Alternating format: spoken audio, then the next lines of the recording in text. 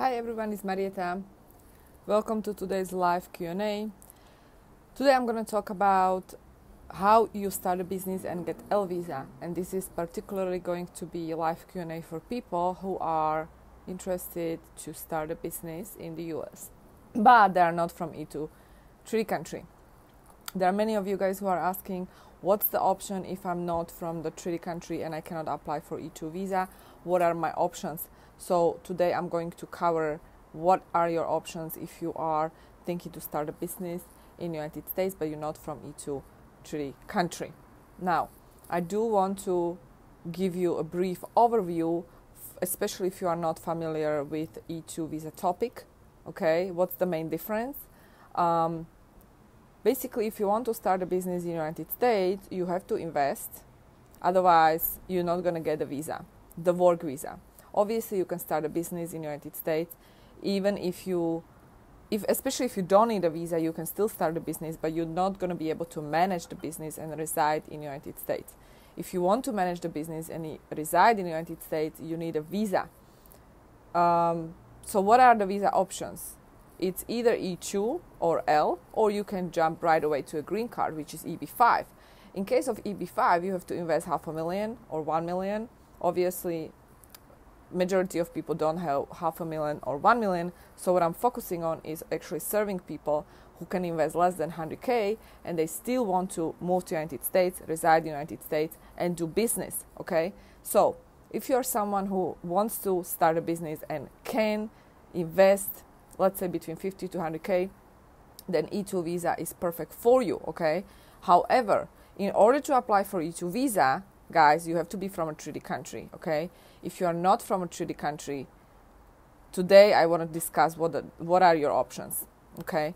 So, in order to find out if your country is the treaty country, you have to simply Google E2 visa treaty countries because I see some people already that are like SAED, hi, E2 visa I need. Okay, you have to check if you are from a treaty country. Uh, or let me know where you're from and maybe I will tell you if you qualify or not. So you guys have to first check if you are from a treaty country. If you are not from a treaty country, no problem because you can go with plan B. I call it plan B. So what is this plan B that I'm talking about? That is called L visa. Now, in order to apply for L visa and start a business in the United States, you have to already run your business in your home country. Let me give you example people who are from India, for example, or Nepal. Actually, I did a video on this, so you can go back to my YouTube channel and search for E2 visa for Indians and Nepali citizens, where I talk about if you don't qualify for E2 visa, you can apply for L as long as you run business in your home country.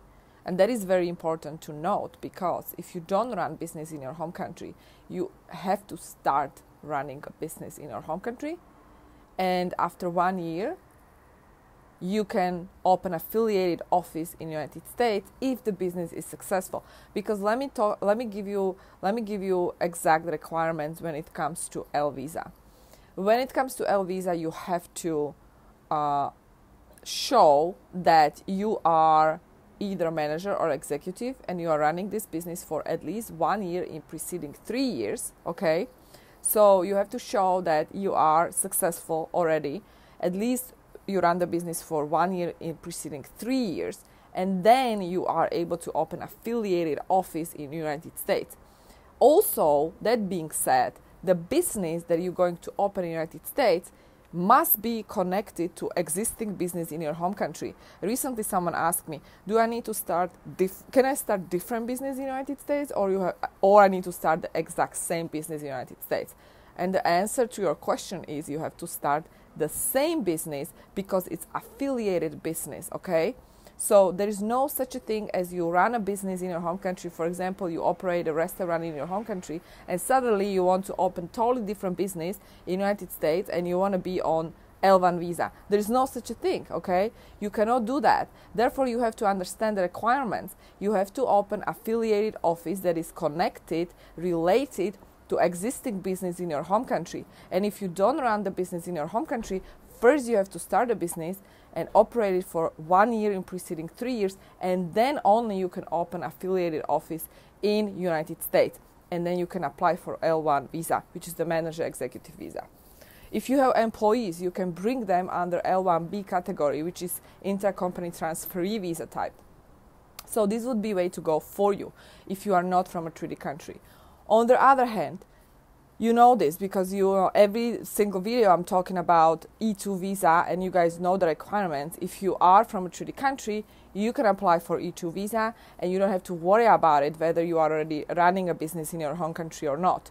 You can directly apply for E2 visa and therefore in my opinion this is like pretty much the ultimate startup visa, the ultimate entrepreneur visa because this visa allow you to actually start a business from scratch, invest substantial amount of capital that is usually between 50 to 100k based on my experience but it can be even less because it depends on your business okay? But today i did want to mention that if you are not from a treaty country you still have a choice you know? You can still take care of your status you can still run your business but it's going to take you a little bit longer especially if you don't have existing operating business in your home country okay so you need to start it first. You have to you have to incorporate in your home country first and then you're going to open up the affiliate after one year. So i hope it makes sense guys. Uh, let me see your comments. I'm from pakistan and i work in saudi arabia and i need free visa. I don't do free visas. I don't know what you mean by that. I don't do any free visas. There, no, there is no such a concept as free visas. Um, if you're looking for free visa you're probably in the wrong place. There's nothing i can do for you If you need more information, obviously you can go back to my YouTube channel, youtube.com slash. I have over 300 videos on this topic, especially the E2 visas, L visas. Um, you can watch those videos. And for those who are ready to start a business, if you have a great idea, perfect. And if you want to start this process, I do have upcoming program, the American Dream Accelerator, that I'm launching in two weeks. And you can get on the wait list if you want to be notified when we launch. This program is going to take you from idea to actual business in United States. You're going to incorporate. Before we even do that, we're going to validate the idea. We're going to make sure that it's a good business idea, that you're going to actually make money. And I'm also going to teach you how to market and do your sales because that's very important component. Sometimes people move to United States, they get a visa, but they are stuck. They don't make any money, and after that, they are not able to extend the visas because they don't they don't have any profit. Um, and therefore, I do teach my clients how to market and do sales, especially uh, in the proper way. So, actually, make money and you grow the business. Uh, and le- later on, eventually, you scale it and you can uh, apply for a green card. So, the accelerator is going to bring you from, is going to take you from idea to actual business. And it's going to be eight weeks long program and you can sign up. The link is about this video. There is a registration link. If you watch me on youtube it's going to be below. Let me see your comments guys. How do i obtain student visas? Sorry i don't do student visas anymore. I do have actual course e-course on how to get a student visas. You can visit immigrationbizacademy.com and you can check that out. There is a course that is going to help you out how you actually get a visa student visa um, but typically, you have to be enrolled in school. You have to have uh, the the I twenty form. Without I twenty form, you cannot actually apply for F one student visa. Ali, hi. I want to know, can I get E two visa here in Oman? Since last year, I let's see. Since last year, I have a gold jewelry company. Okay. Um, to be honest. I'm not sure if Oman is treaty country. So make sure to Google, check if Oman is treaty country. Uh, just Google E2 treaty countries, list of treaty countries. You're going to see uh, if Oman is on the list. I don't know. I don't know if Oman is the treaty country. Uh, if Oman is the treaty country, then you can apply with the jewelry business. If Oman is not the treaty country, then you can still apply because you can basically um, you can basically get the L visa right? Like I said, if you have existing business, you operate a business in your home country, even though you're not treaty country, you can still apply for L visa. That will be the L1A category, okay? And yes, for the accelerator, I'm going to also include uh, there's going to be a module on how to get L visa. So if you are someone who is looking for E2 visa or L visa, you can still enroll to accelerator, and the link is about this video. So Ali, you can click on the link and get on the list if you are interested. It's immibiz.com slash accelerator. I'm planning to apply Timor for US visa. Okay, good for you.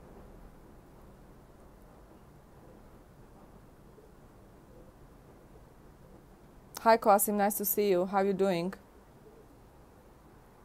Nice to see you in a bright shiny day. Yeah, actually today I'm in I'm in Slovakia, where I'm from. Let me show you the view. I'm in Bratislava. I'm visiting for two days. So this is actually where I'm originally from, guys. Um, okay.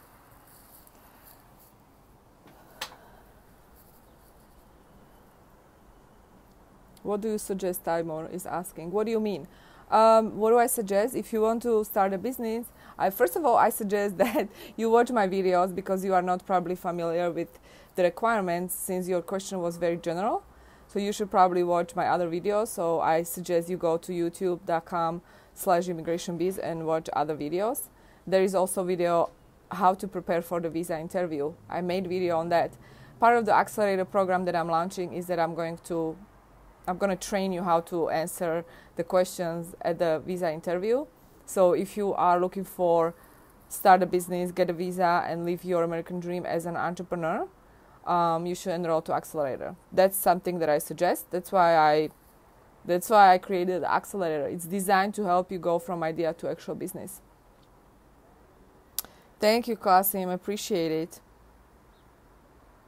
I really appreciate it. Um, typically when you go for interview you know um, well there are different you have to prepare in different way especially if you go for interview e2 visa interview l visa interview and b visa interview. And b visa interviews are just a regular b visa tourist visa. Even though they are called business visa it's just a b1 visa which is a regular tourist visitor visa. And there is a different strategy how you prepare for b visa interview compared to like when you go for E2 visa interview. E2 visa is very different because you are actually investing, you bringing value to US economy, so it's quite different compared to B visa. Um, the number one reason why B visas are denied is because lack of strong ties to your home country, and that is something that you have to keep in mind. Uh, with E2 visa and L visa is slightly different, especially with L visas, it's dual intent visa meaning your intent can be immigrate eventually because you can go from L to actual green card EB1. Um, it's slightly different, you know. What you have to establish during the interview, the documents are slightly different. It's actually more complex petition compared to B visa, but the B visa is usually um, denied more frequently because uh, because of the nature of the visa. It's just a visitor visa, and there are many people who don't have strong ties who want to visit the U.S. But it's almost obvious that they are not going to visit, just visit. They're going to actually stay there. So you have to understand that. Um, and also, it depends where you're from. You know, what's your country? Wh- where are you from, and what's your background? And also, it depends whether you have applied for the visa in the past or this is the first time you're applying. If you have any history, previous history, travel history um, etc. So it really depends.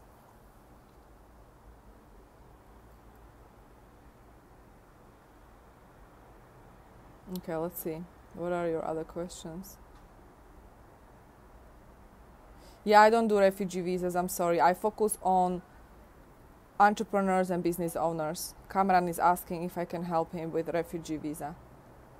Yeah, Jordan. I have helped entrepreneurs from Jordan, William, you can go to YouTube and check out there is a case study interview with garage.com. These guys were from Jordan and they are entrepreneurs. So I just focus on entrepreneur visa. It's either E2 or L.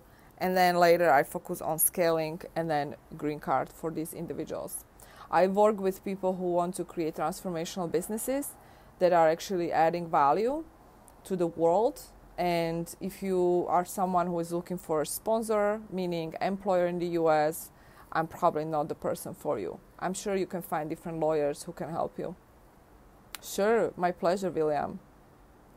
Timor, you have been to the US, then great. Um, like I said, Timor, if you want to start a business, you know, I can help you out. But if you are looking for just, you know, to find a sponsor or employer, I'm probably not good fit for you. Um, and you, yes, if you want to start a business, you can um, get on the wait list and get uh, on the wait list for the upcoming program, the American Dream Accelerator. The link is about this video or below. I think I covered your question, guys. Sure, you're very welcome, Cameron. Hi, everybody. Yeah, Khan is asking again, you want a study visa? Yeah, like you can get a course, how to get a student visa. It's immigrationbizacademy.com. I already mentioned it today. For some reason, people keep asking for student visas, uh, which I totally understand. Like I went to U.S. university, and uh, I suggest that definitely it's good place to start but you know, in general, you don't necessarily need a U.S. university degree if you want to start a business, if you are an entrepreneur.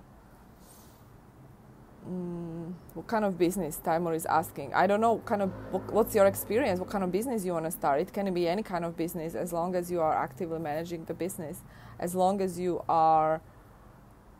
I say passionate about it, because if you don't like what you do, you're not going to be successful. So, and it can be any kind of business. You know, there's no limit uh, if you want to invest into real estate, be careful because it has to be active business. And if you invest into real estate, it's considered more as a passive investment. What's the minimum to start a business? Again, it really depends on your particular business model. Um, you know, some companies require 30,000, 40,000, 50,000. There are companies or business types actually that require more than 100k. So it really depends. With E2 visa, the requirement it has to be substantial amount of investment. With L visas, there is no such a requirement, but the requirement is that you have to run the business in your home country and you have to manage the business at least one year for one year in preceding three years. So so there is no minimum. Now, if you want to get a green card, EB5, the minimum would be half a million, a minimum, or one million if you want to invest directly in any kind of commercial enterprise.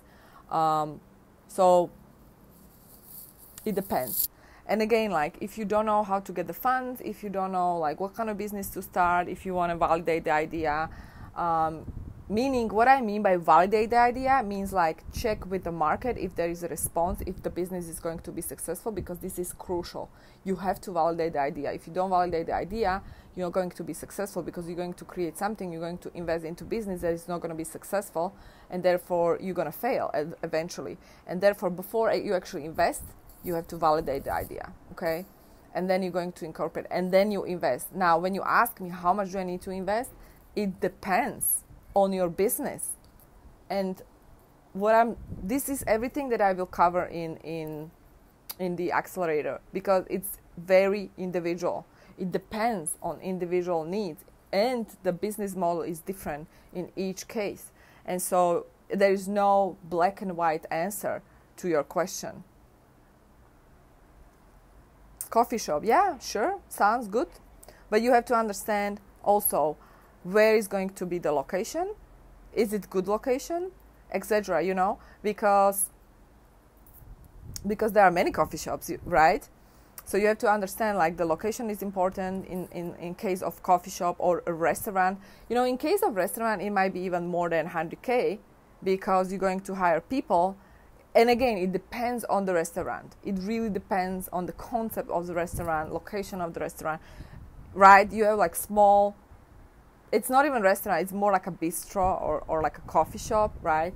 The investment is definitely less than 100k but if you want to open up a restaurant you should invest probably 150 200000 dollars. That's something that is like more reasonable. That would be like a reasonable investment. But again it depends on the concept. And in california and in new york there are so many restaurants so you have to make sure that the, the, the concept of your restaurant is good so you can actually make money, right? You don't want to just get a visa. Sometimes people come to me and they just want to get a visa, and I'm like, yeah, I don't want to help you because I don't care if you just want to get a visa. You should you should think about the concept, the business itself. So you actually provide value to the market, you help other people, and you also generate money. So you have a good lifestyle in the United States. You don't want to suffer, right?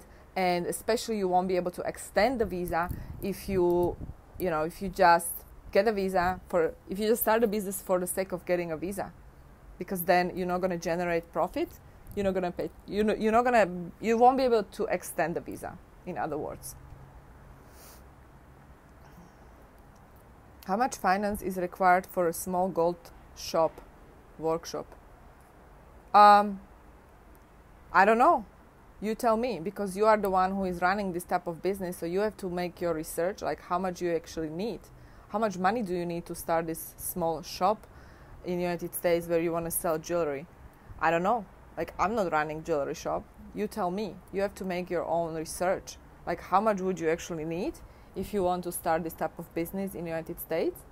My opinion i mean you're starting a small shop it might be less than 50k but you have to you have to double check. You have to make your own research.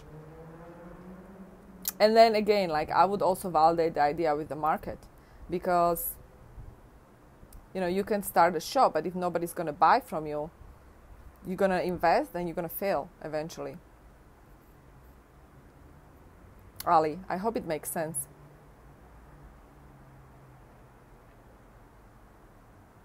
Cameron, I'm engineer of apartment. Can I do everything in apartment? How is it? I don't know what you mean by that. That you are engineer. Like you are taking care of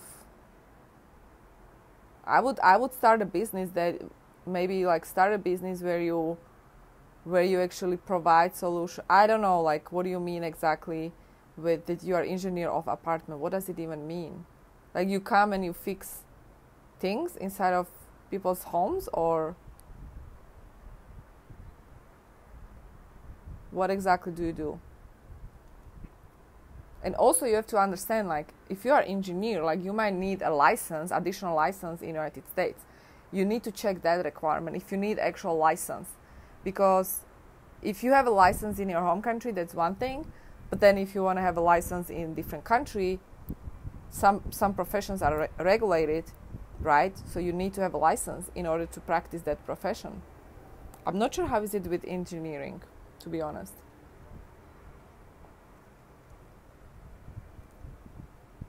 I buy cars and sell them, yeah, you can do that, I think. I help people, I help entrepreneurs who started, but it wasn't necessarily buying, selling cars, it was more like a repair shop, kind of, like a tuning cars type of business model, um, yeah, you can start buy and sell cars, I believe. You know, you guys have to understand like that is part of the accelerator program. Like I there is no way I can tell you right now how much you need to invest. If you just ask me, I want to start this business, how much do I need to invest? And how do I know? Like there is actual process that you have to go through how are you going to determine how much you have to invest that is the, that is something that i teach in the accelerator program okay the american dream accelerator because i cannot tell you how much you need to invest if i tell you i will be lying because i don't know how much you need to invest it's a process you de- you determine how much you need to invest right but based on my experience i typically work with people that invest from 50 to 100k or 50 to 150 or 50 it starts with 50,000. I don't work usually with below. I don't work with people who invest below 50,000, but there are cases where people invested 30,000 and they still got approval. But it really depends on the business. You know what I mean?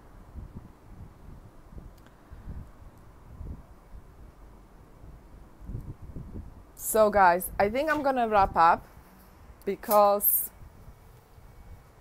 I have probably low network connection. It tells me low con- network connection. Um, I hope you can see me because it says like low network connection. I don't know what it means. Um, good. I think I'm gonna wrap up and I answer most of your questions. I think.